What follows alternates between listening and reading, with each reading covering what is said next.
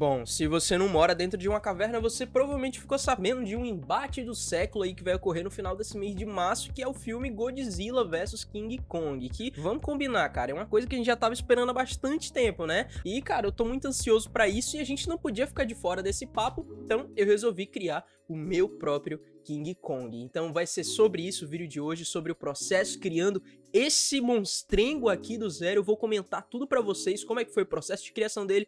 E ah, vai ter briga de monstros CG sim, hein, cara. Eu vou fazer aqui o King Kong, mas também vou fazer o Godzilla depois e vamos botar esses dois para cair na porrada. Vamos tentar fazer isso antes do filme lançar. Não posso prometer nada, mas vamos ver. Depois da vinheta, vamos continuar nesse papo. I think the girls with their nails done now.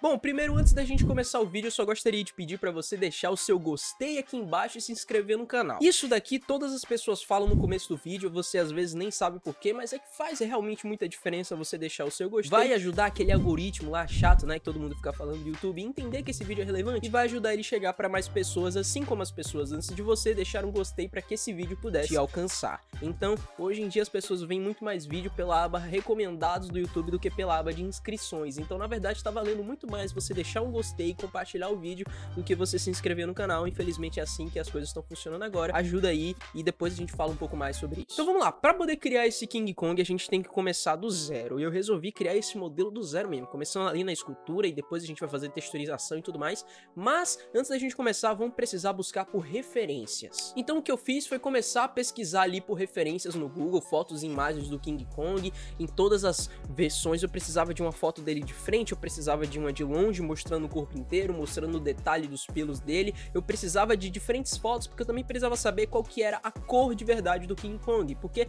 dependendo da luz onde ele estivesse, poderia mudar a cor do pelo dele ou a cor da pele dele. Eu nunca saberia qual que é a cor do King Kong de fato. Então você precisa ter várias fotos em diferentes ângulos e diferentes iluminações para você descobrir qual que é a cor de verdade. É claro que se ele tiver num ambiente que, por exemplo, tá pegando fogo, obviamente que ele vai parecer ter uma cor de pele um pouco mais próxima do vermelho, com tons mais quentes, com uma coisa mais amarronzada, mas se você colocar ele, por exemplo, num ambiente um pouco mais frio, obviamente vai parecer que ele tem um tom de pele mais frio. Então é muito importante você ter várias fotos de vários ângulos diferentes para você não se enganar e também ter várias iluminações diferentes para você poder saber qual que é de fato as cores que estão acontecendo ali. Bom, depois que eu organizei todas essas minhas referências lá no meu bloco do Pure Have, que é esse app que eu uso para guardar as referências, ele é muito utilizado pelos artistas também, vou deixar aqui o link na descrição, ele é gratuito se você quiser utilizar, isso aqui não é patrocinado, é simplesmente porque eu gosto muito desse app mesmo. E depois que eu reuni essas referências, eu comecei a fazer a minha escultura no ZBrush, que é esse software de escultura e que as pessoas mais utilizam, e eu comecei a fazer nele também,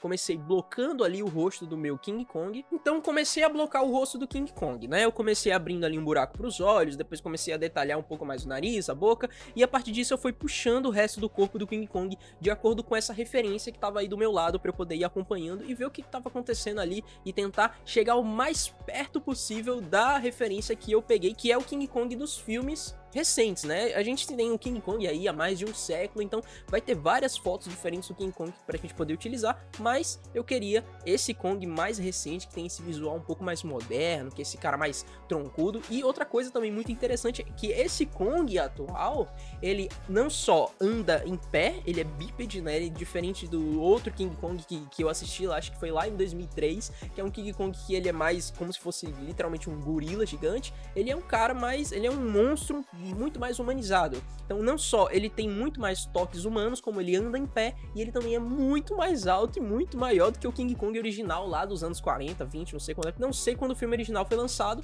mas ele é muito maior justamente com esse conceito de que ele iria competir com o Godzilla futuramente aí no filme. Então, desde o primeiro filme do King Kong, a gente já sabia que em algum momento ia ter esse embate, né? Muito legal esse negócio aí da Warner de ficar atiçando os caras. Bom, então eu continuei refinando a escultura e finalizada a escultura, a base mesh do meu King Kong, entrou na próxima etapa que a gente chama de retopologia. O que é a retopologia, basicamente, de forma bem resumida aqui pra gente não perder muito Bom, tempo? Quando você vai lá na sua base mesh, você tem uma malha, ou seja, você tem polígonos cagados, porque você vai esculpindo ali, você aumenta uma coisa ali, você refina um negocinho ali, e no final a sua retopologia, os polígonos, né, o seu fluxo de polígonos fica uma bosta, não é o apropriado para você poder texturizar e animar. Para isso você precisa reconstruir toda essa malha poligonal para que você possa fazer a texturização da forma correta, tirar os UV Maps, que é o que a gente chama para você poder texturizar em um plano 2D, e você também vai precisar fazer isso para você poder animar. Não dá para animar uma malha toda zoada. Então eu fiz a retopologia, não gravei a retopologia aqui para vocês, porque é um processo muito chato e levou muitas horas, eu não gravei, mas vamos para a próxima etapa, que é a etapa de UV Map. Então, assim que a sua retopologia tá pronta, você vai começar a meio que recortar o seu personagem para você poder texturizar ele depois. Existem outras formas, claro, de você fazer textura, como polypaint e tudo mais, que não precisa de um UV Map lá muito bem detalhado, mas eu tava decidido que eu ia fazer esse King Kong animado lutando contra o Godzilla, e para isso eu precisava de uma retopologia e de um UV Map muito bem definido. Então, finalizado o VMAP, agora a gente vai para texturização. E essa é a parte onde o bicho pega, porque eu tenho que levar esse meu King Kong do Maya, que foi o software que eu utilizei para fazer retopologia VMAP, para o Substance Painter, que é o software de pintura e de texturização que eu utilizo para poder fazer os meus modelos 3D. É o que eu aprendi, tem outras formas de você fazer isso, mas é o que eu mais gosto. Então, como você pode ver, nesse momento King Kong ele ainda tá peladão, né? Ele tá totalmente sem pelos, porque os pelos, na verdade, são a última etapa que a gente vai acrescentar lá na etapa de X-Gen. Então, antes de eu pensar em pelos, eu tenho que fazer a pele do King Kong. E essa foi uma parte particularmente desafiadora, porque eu tinha que imaginar como que era o King Kong sem pelos, para eu poder fazer a texturização da pele dele e só depois eu acrescentar isso. Então, você meio que tem que, cara, você tem que se virar ali, você tem que imaginar, sei lá, pesquisa uma foto lá de um chimpanzé que raspar o pelo do chimpanzé deixa ele todo pelado para você poder ter de referência para você fazer o King Kong aí nesse caso. Finalizada a texturização da pele do King Kong, agora a gente vai para a etapa final, que é a etapa de pelos. E para poder fazer os pelos do King Kong, eu utilizei o XGen, que é uma função do próprio Maya, ou seja, eu trouxe o, eu trouxe o modelo 3D dele de volta pro Maya para eu poder fazer os pelos, onde você, cara, como você pode ver no começo, é meio tosco, eu admito. Você cria vários pelos aleatórios e é tipo uma coisa meio automática, né? Você gera vários pelos assim, eles começam a sair do personagem e depois você tem que literalmente, você tem que pentear o personagem. É como se você pegasse uma escovinha e começasse a pentear o pelo lá do King Kong e colocar na direção certa. Tem várias questões, na verdade, você tem que mexer na width, que seria tipo o tamanho dos pelos, né? Você tem que mexer nisso, na grossura dos pelos, na altura deles, quanto que eles estão saltados para fora, quanto que eles estão deitados.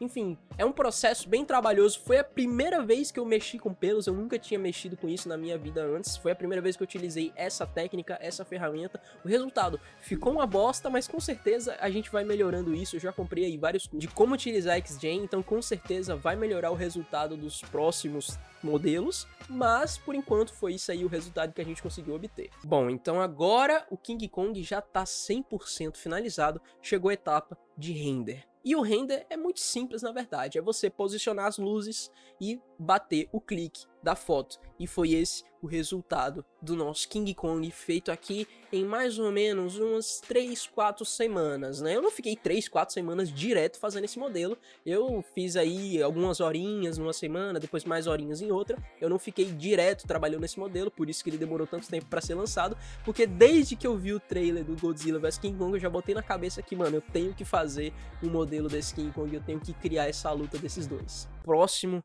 que nós faremos aqui será o Lagartoso. Então deixa aqui nos comentários o que, que você tá esperando desse filme. Será que esse filme realmente vai ser bom? Ou será que ele vai ser uma porcaria? Eu não sei. Tendo luta, tendo porradaria entre macaco e lagarto, para mim já é o suficiente. Não precisa ter nada mais do que isso. Bom, se você gostou desse vídeo, você gostou do resultado aqui do King Kong, também se você quiser checar essa imagem em alta resolução, o link tá aqui na descrição para você poder ir lá e ver de referência e ver como é que ficou o meu resultado. Não se esquece, cara, se inscreve no canal. A gente também tem os membros do canal que são as pessoas que mantêm essa bagaça funcionando porque o YouTube não facilita a vida de ninguém. Então, caso você queira apoiar esse conteúdo e receber algumas recompensas de volta, você pode apoiar aqui nos membros do canal. E caso você queira aprender e adquirir um pouco mais de conhecimento, também tem os meus cursos na Udemy, que eu vou deixar o link aqui na descrição. Tem curso de pintura digital, curso de animação e quem sabe em breve a gente não coloca um curso aí de 3D também, né? Por enquanto não. Por enquanto estamos aqui desenvolvendo, estamos aqui melhorando as técnicas, mais para frente a gente fala sobre isso. Bom, espero que você tenha gostado desse vídeo. Eu vejo você então no próximo. Tchau.